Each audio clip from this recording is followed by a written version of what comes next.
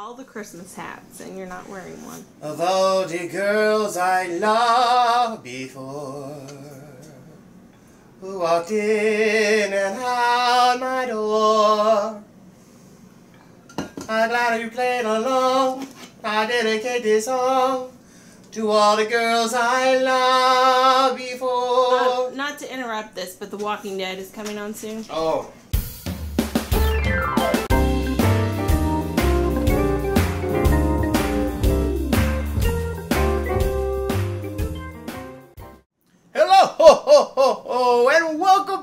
Another edition of Cooking Cris's Dishes with the good old boy. That's me, where we're cooking up dishes straight from recipes.crock.com, which is my beautiful wife's cooking blog that has well over, get ready for it, 600 recipes now and rising.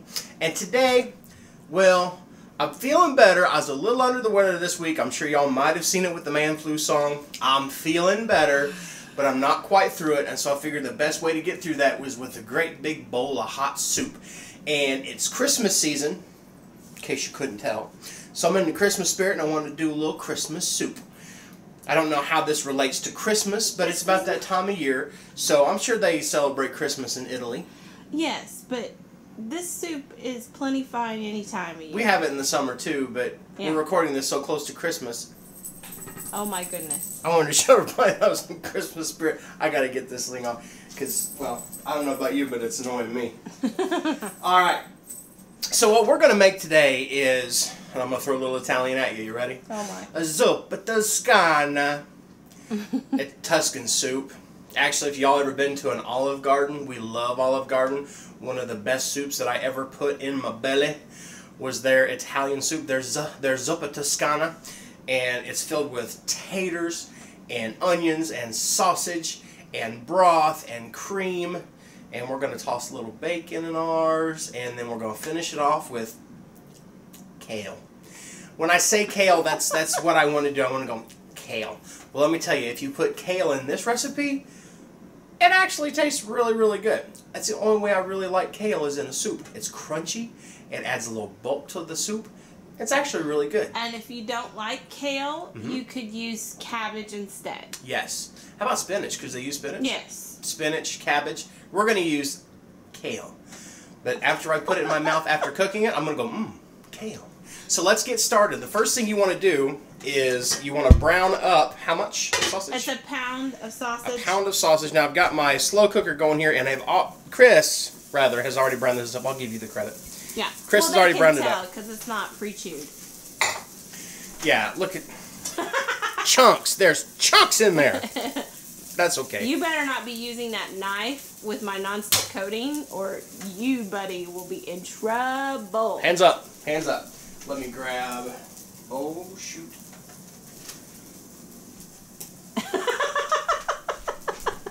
Are you going to join us? No, honey, I did not. You, I just, I was pointing. I was pointing at the chunks. I will stop. Man, some people and their toys. So anyway, I've got this warming up now. Uh, she had browned this up earlier, and it's all cooked up. I'm gonna get that meat heated back up, but either in a skillet or if you have a browning sautéing feature in your slow cooker, you want to brown up a pound of sausage, and then once that gets browned up, according to the blog, it says you want to take out your sausage and then start with your other ingredients. You can leave the sausage in there if you like, because after this has all been browned up, the next thing you're going to add is your onion.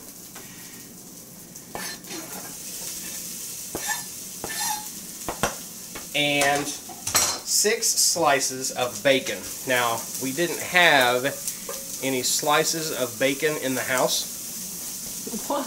What's wrong with that? I know, that's that's not American. It's not me.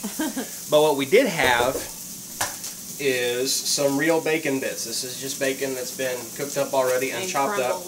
And so you figure you want to add six slices of bacon, and I have no idea how many six slices of bacon is, so I'm gonna do that Oh, right my there. word. Oh, and see this right here? This is not edible, not delicious. Make sure it doesn't go in your soup. But uh, since, That was not a full one, thankfully. yeah, well, unthankfully, because I could just make a bacon soup and be fine.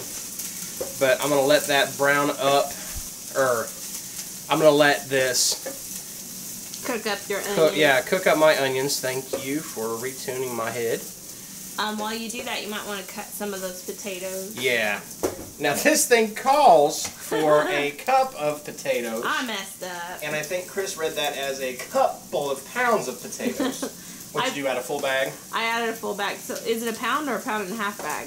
I think It's a pound and a half, yeah. So we have our finished product today is very potatoy. Yes. And so it's not going to have as much, uh, it's not going to be as much broth as what yours would look like if you actually followed the directions. Versus okay, me, though. I'm just like randomly throwing things in a slow cooker. So, Well, I tell you what I'm going to do then. I'm going to fix it oh, Aria. because I'm a fixer. Oh, Aria. I'm not going to use a cup of potatoes in the second batch. Oh, I would gonna use what is about maybe a half a cup, three quarters of a cup of potatoes, and then I will when when we get done. when they're both cooked I'll mix up. them all back. I'll mix both batches together. It'll kind of even it out. Still have lots of taters in it, but that's okay because I'm a lots of taters kind of guy. Yeah. So this is all warming up. Woo! Is that an onion? That was an onion. I need to get that off the floor. Remember, if you have pets, don't chop up onions and throw them on the floor. Or you can chop up onions, just get them off the floor. Better yet, don't be clumsy and throw them on the floor in the first place. Do as I say, not as I do. I've touched the floor. I'm going to go touch the water now. All right. So the onions are sauteing up with the bacon and the already cooked up sausage. Mmm, it smells good. The onions mixed with that sausage, and you're starting to smell that bacon. I need to make a bacon cologne. I would wear it.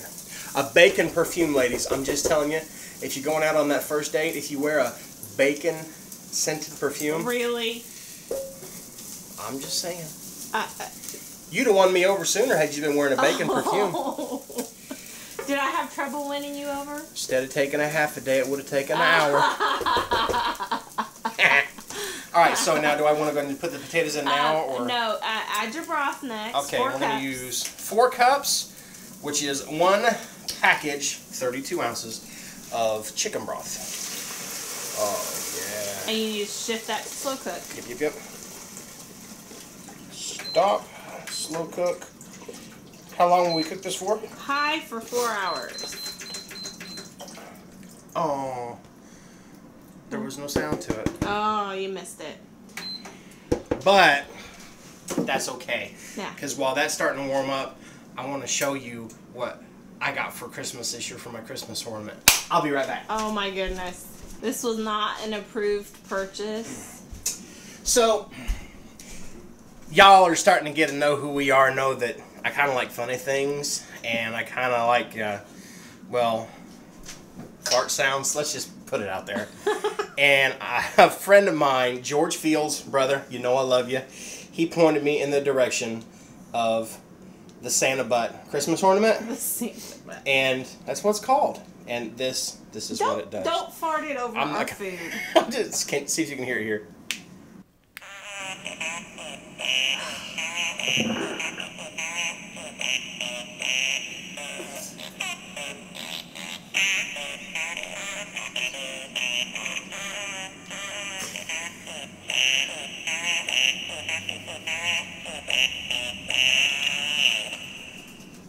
George, a segment of my show has been dedicated to you. Let me thank you. you, George. really, from the bottom of my heart. Yeah, she's been hearing that a lot Get lately. it from the bottom of Ah. my. And when I say she's been hearing a lot lately, I mean from the ornament. so, all right. So now we've got the broth Okay, put so in wanna add in there. Garlic and um and your potatoes, which How much garlic you say? I think it's a teaspoon and a half. I'm not sure that we should trust me without looking on the blog, considering my potato habit. We'll do a teaspoon and a half, and this again is dried gar minced or yeah, freeze dried you garlic. can use regular garlic too, just to taste Yeah. what what you enjoy. and if we add a little bit more, like I'm gonna add about two teaspoons because we really like garlic around Yeah. here. If you'll notice, you've never seen a vampire on the show because we use a lot of garlic. all right, so those are Now your done. potatoes go in and lid goes on. And if you notice, like I said, pay attention. I'm not using a full cup of potatoes here because I'm going to actually mix these both together later and Because I messed up. somebody went over the top. Over the top. That was a good movie. Have you ever seen that movie? Huh. It's like a switch. Really? Nobody? Anyone? No. Oh come on, Sylvester Stallone. He was a trucker and he would uh, arm wrestle for money and win contests and had to be there, I guess. okay, so the taters are now in with the garlic. Give that a stir. Lid goes on, high for four hours. Lid goes on, high for four hours. I'm gonna move this out of the way. I'm gonna go get you a bowl. Oh, oh, Oh. that would have been one heck of a bad party foul.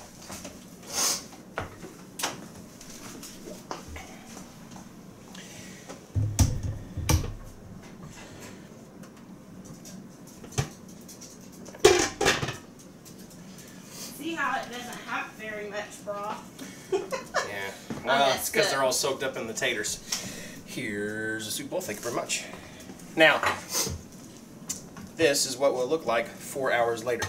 Now, like we were joking about a while ago, notice a lot of that broth is gone. It's because it soaked up into all those taters. Lots and lots of taters, but that's okay because I'm a tater guy. We're gonna mix the two together. It's all gonna even out, and Yeah. everything will be fine.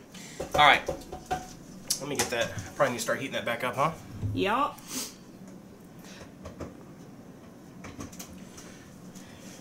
Just on Hi. high on There we slow go. cook.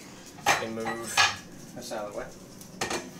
All right, now what what I need to do here now? Now Dawn? you just pour in your kale, which is two cups kale, um, and you just it'll get really nice green and bright. You're gonna stir it um, until it wilts down, and you're gonna I touched the top of the slow cooker. uh oh That was hot. pour your uh, cream in as well.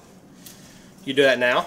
Yeah, well, mainly because I really uh, messed up, and you don't have ton, you don't have a lot of broth in there, anyways. don't. So This just goes to show you everybody makes mistakes in the kitchen. yeah, Now you could use heavy cream. We're using two percent milk, and this is a great way to kind of reduce the fat in Yeah. the soup. If you want to kind of make this a little lower fat, this is one good way to do it. yep. That's going to be all right. It's got Yeah. plenty of broth in there. So you just heat that through, and once that's heated, um, it's ready to eat. Yep. So I'm going to stir this up a little bit and let it get heated through until the kale has wilted a little bit. But again, like I said, if you couldn't tell from my attire, it's getting really close to Christmas, and around here we really do get in the Christmas spirit. We decorate the tree, we play some music. We were jamming to some heavy metal music over the weekend, some heavy metal Christmas music. Per Miss Ad's request. Just kidding, that was me. I'm trying to get her all cultural and stuff with some heavy metal. Along with the Christmas tunes. Mama was up there headbanging while wrapping the garland around the tree. And then Miss Ad decided that while I was sitting there on a stool watching Mama do the garland, that Addie was going to decorate me. but we have a lot of fun during the Christmas time. And we like to eat a lot of good food during Christmas. And this is definitely something for the colder months. We have it in the summer too. Spring, fall, doesn't matter. We really enjoy this soup. But in the winter, when it starts getting real cold, this is a fantastic soup. This is one of my favorite things to eat. But everything started to wilt down now. Nope. Anything else to do but eat it? It's time for you to have a big old bowl. I think I can Can manage. can you handle that? Hang on, I'm trying to find some potatoes. like we said, yours should have a lot more broth uh, in it than mine Yeah. does. Um, I can get some broth out of there. cause I messed up. Probably could have used a better spoon for this, but frankly, we haven't done the dishes yet today, so it's probably not clean yet. What? My bad. what haven't we done? The dishes. What are you looking for? I was thinking about I should have got a better spoon than that. Oh, well, I think the one I was stirring it with is right behind you, actually. Bigger spoon. Because I've got a bigger mouth. Let's, All right. let's give this a test. Okay, Big Mouth. Let's see how it goes. It smells fantastic. The sausage, all the spices in the sausage come out, and I mean, you can see the kale has started to wilt, but it's still got some body to it, which is good because it gives it some crunch to go along with it. I got me some broth, some taters, some kale, and some sausage here.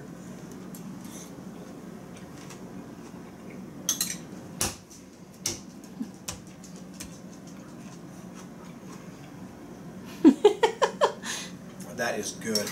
It's one of our favorite. It's one that we make all the time. Mhm. So, which is why I like totally wasn't looking at the recipe and just throwing in stuff. So, like the other way that you could have fixed that if you weren't making a whole nother batch is just add more broth, like two cups more Yeah. broth to it, and that's probably what I would have done had we not been taping it. Mm-hmm. So, That is so good. kit. And again, we made that with milk, so it's not going to be near as creamy as what you might get at Olive Garden. But theirs isn't really creamy either. Mm-mm. It's really brothy. Yeah. We I've even made it. I mean, you can make it any That's so which good. way you want. Um, The spices in that sausage Mm-hmm. give it just a little bit of heat. If you like a lot of heat, get a spicy breakfast sausage. I know we use mild, but there's still enough spice in that. It kind of gives a little bite on the back end. Nothing, nothing that's going to burn your face off or anything like that. Just it gives a nice warmth to it. Again, a great winter soup.